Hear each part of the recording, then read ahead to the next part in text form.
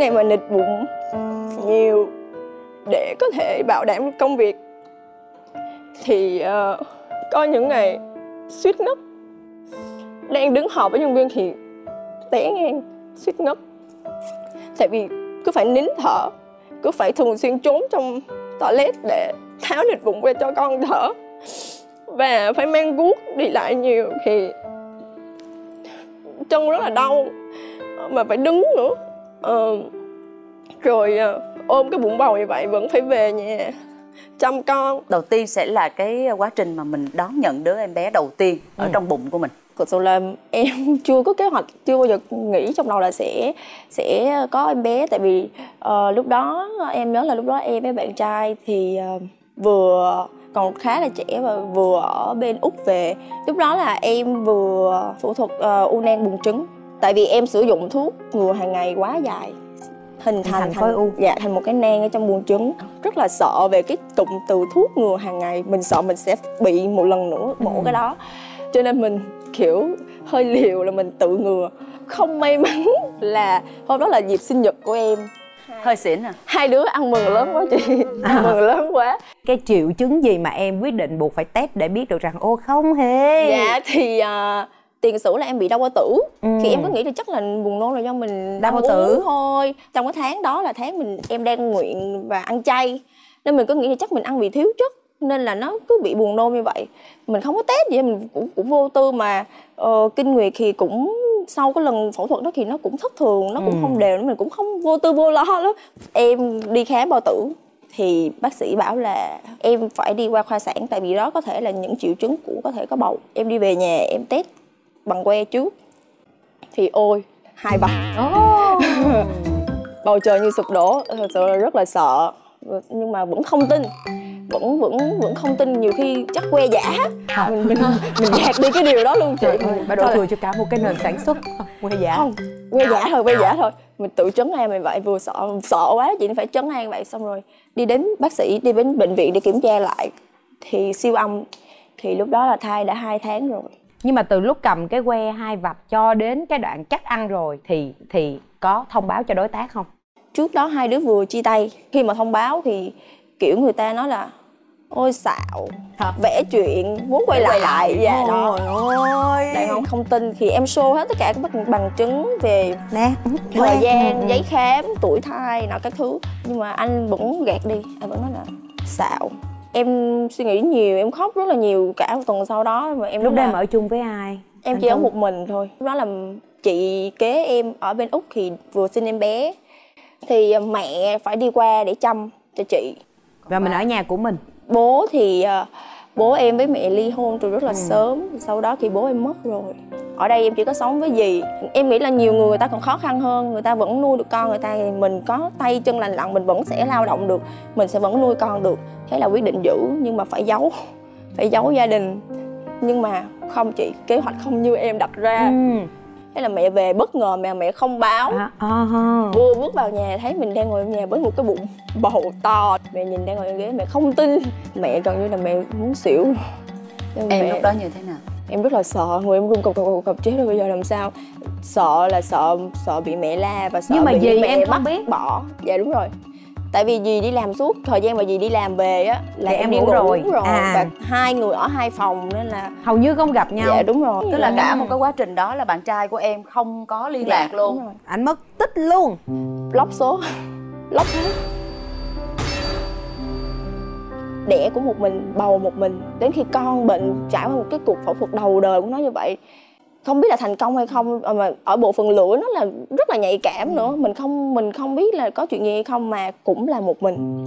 Thì đó là đỉnh điểm sau ngày hôm đó em nói là con em là của của em chỉ một mình em thôi em không cần anh nữa. Thì từ đó là không nói chuyện không liên lạc gì nữa hết.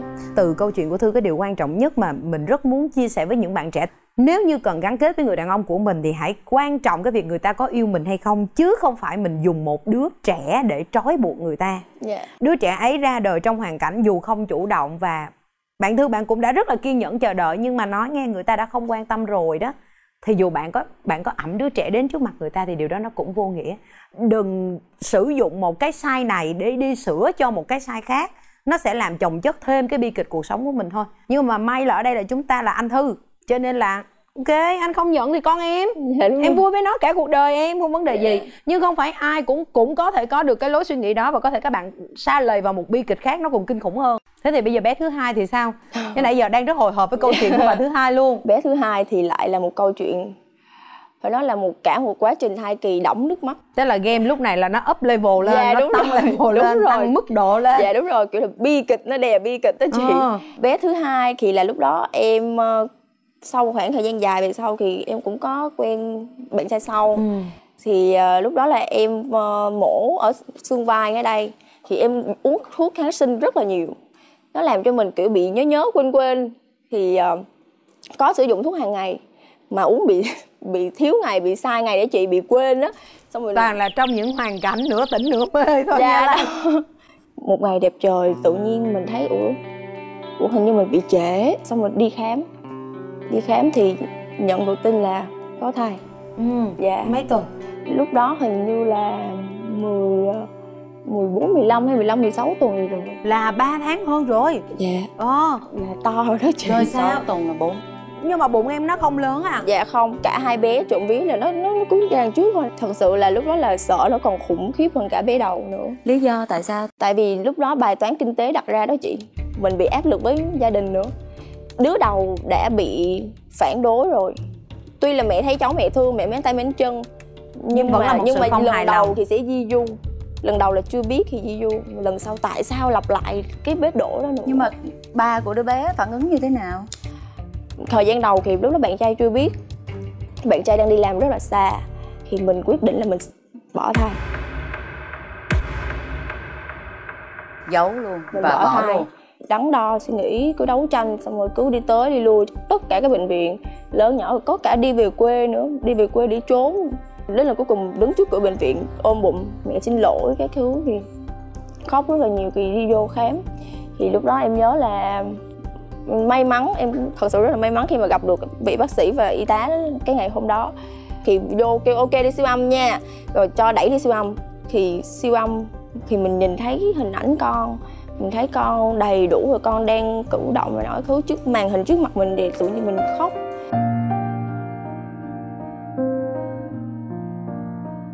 Khóc trong vô định. Bác nói ok thai bình thường khỏe mạnh này nọ.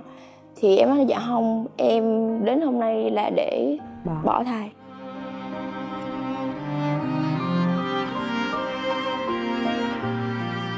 Thì bác la bác nói là trời đất ơi thai bây giờ đã rất là to rồi em nhìn hình đi em nhìn kỹ đi em thấy không? Tay chân tứ chi đã đầy đủ rồi. Làm sao mà bỏ được? Bác sĩ với lại y tá dành thời gian rất là rất là nhiều để khuyên mình nói thứ bác từ chối luôn. Quyết định thôi. Ờ, giữ. Thôi cứ giữ đi rồi rồi tính tiếp. Lúc đó chị nghĩ là đi được đến đâu thì đi, đi đi. Quá trình mà em mang bầu như vậy á em phải chăm sóc em bé trong bụng như thế nào với một đứa con ở ngoài nữa? Ừ. em phải đi làm double lên để vừa bảo đảm cho thai vừa có tiền đi khám thai tiền này nọ các thứ cho bé vừa phải nuôi bé lớn. Rồi ờ, phải ờ, tự nuôi bản thân mình làm double lên có nghĩa là mình kiếm thêm một việc nữa Dạ, hay là rồi. mình tăng ca? Kiếm thêm một việc nữa. Cái quá Thì- trình tìm việc đó nó có dễ không? Khó lắm chị. Em nhận được hai job của hai khách sạn năm sao. Thì là làm quản lý và hầu như là phải đứng xuống phải đi lại rất là nhiều phải mang giày cao Ờ. các thứ rồi cứ phải chèn rất là nhiều quần áo vô là Để mặc- che. dạ để che.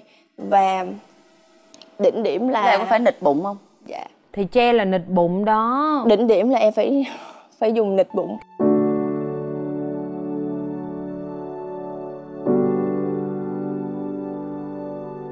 Cái công việc nó Dạ, đòi hỏi ngoại hình. Tại vì ờ, khách sạn năm sao họ rất là hà khắc thay vì người ta là sử dụng nịch bụng để cho eo nhỏ thì mình lại phải giấu bụng. Thì ờ, đó là một khoảng thời gian thật sự rất là ám ảnh đến tận bây giờ nghĩ lại thật sự rất là sợ. Trong quá trình đó em đối thoại cái gì với con mình khi con trong bụng thư? Thì um, em hay vỗ bụng rồi những những ngày mà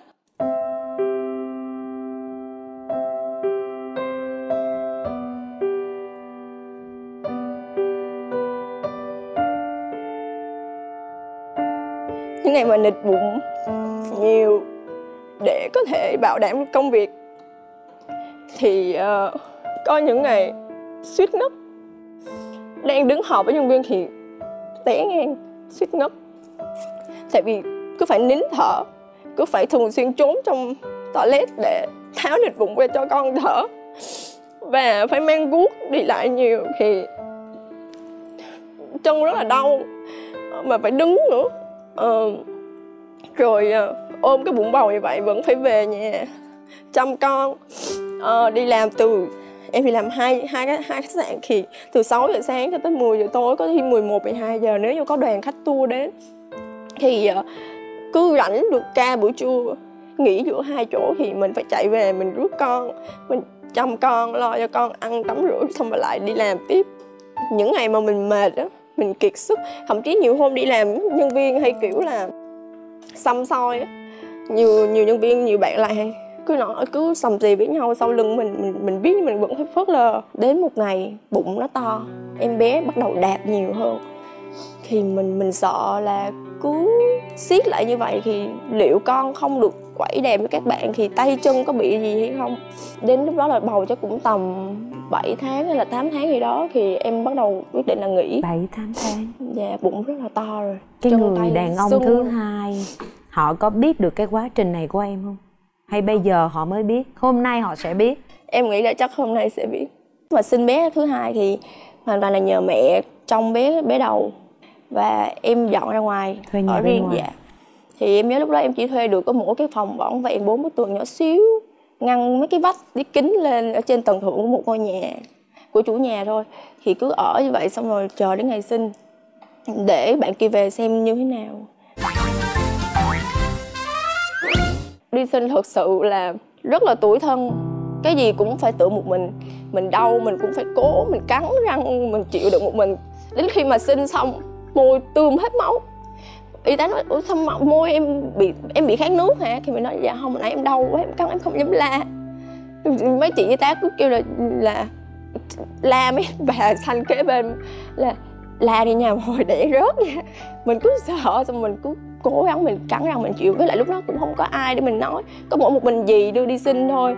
Thì dì thì ở ngoài phòng cách ly rồi có một mình bên trong này. Thì uh, xin bé ra xong rồi cứ ôm con ở trên trên người nhìn con mình mình không dám tin là mình làm được. Mình nói ồ. Cuối cùng thì mình cũng mang con đến nước lành lặn cuối cùng thì trong suốt thai kỳ phải nịch bụng, phải ăn mì gói rất là nhiều để có sữa tiền, mua sữa cho bé lớn. Thì may mắn quá, nhìn con, điều đầu tiên mà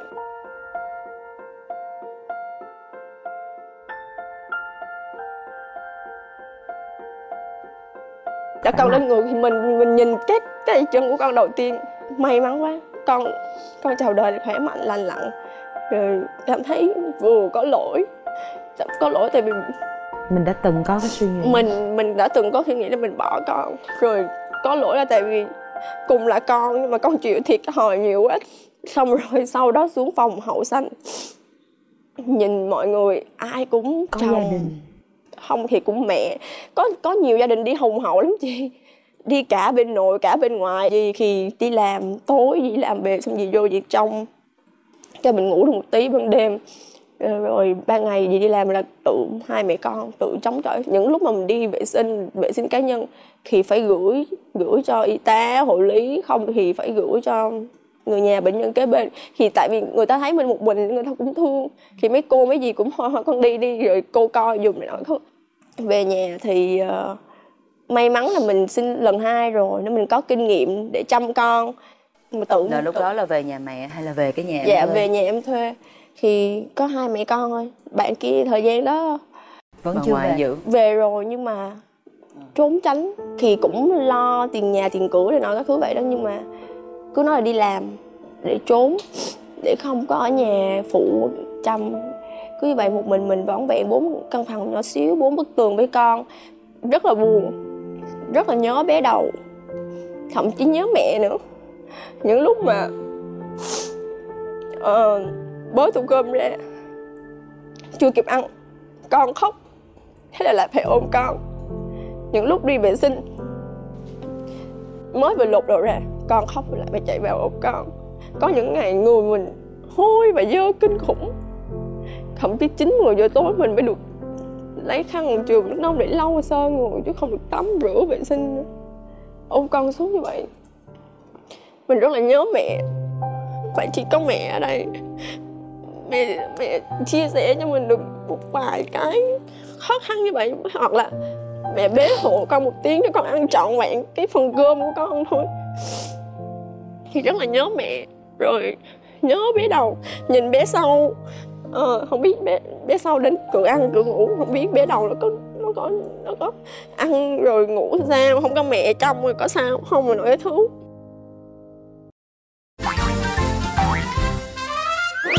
em ám ảnh nhất đó là trầm cảm sâu sinh cái cụm từ đó nó kinh khủng lắm em rất là sợ em luôn em luôn dặn là mình không được để cho bị cái bệnh đó.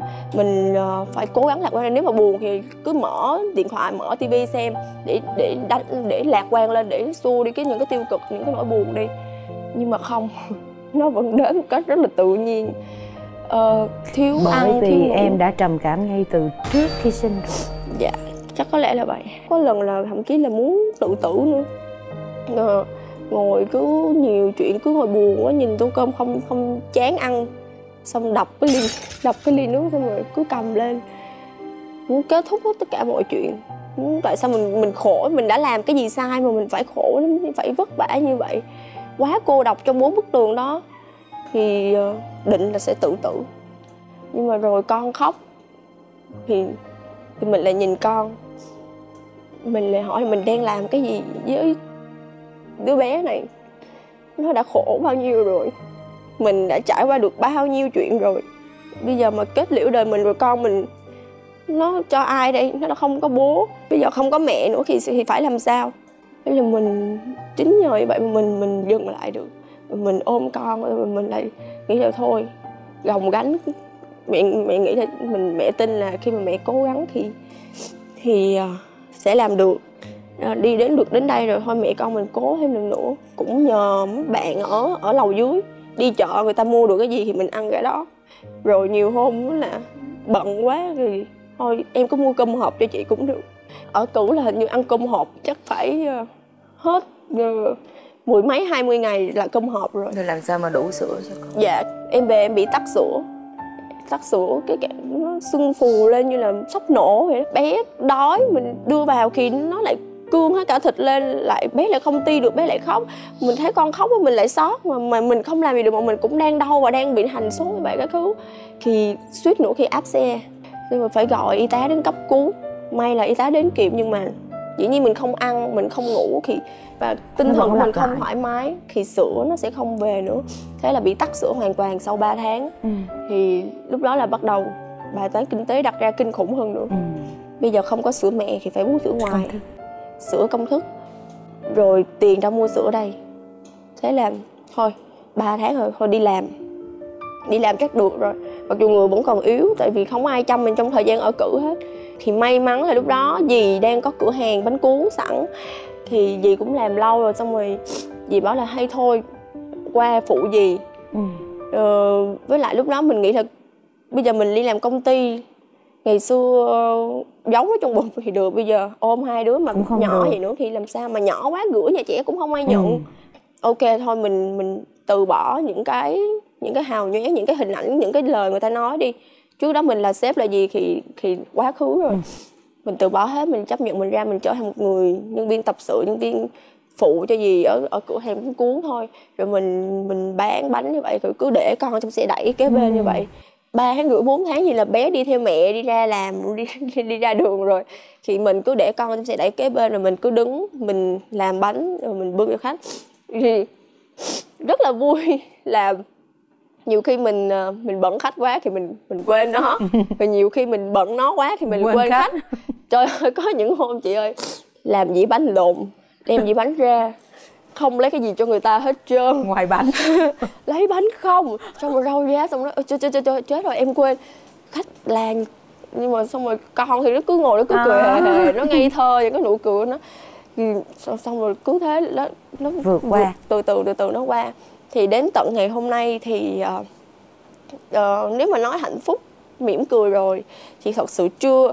Tại vì dĩ nhiên một bà mẹ đơn thân với hai bé dĩ nhiên sẽ có rất là nhiều khó khăn thì hiện tại cửa hàng là bây giờ vẫn ổn cửa hàng kinh doanh đang tốt và mình cũng bán thêm online nữa.